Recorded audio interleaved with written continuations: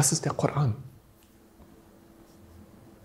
Dieses Leben ist wie ein Labyrinth mit 1000 Türen. 1000 Türen. Und nur eine führt dich zum Erfolg. Eine rettet dich, eine, nicht mehr. Und dieser Koran ist die Karte dorthin. Sie lässt sich in diesem Labyrinth genau diese eine Tür finden. Ist das nicht auch genau das, worum wir Allah in jedem Gebet bitten?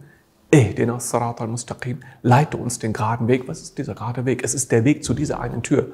Und Allah sagt, ja, ich mache das. Ich gebe euch etwas, mit dem ihr diese eine Tür findet.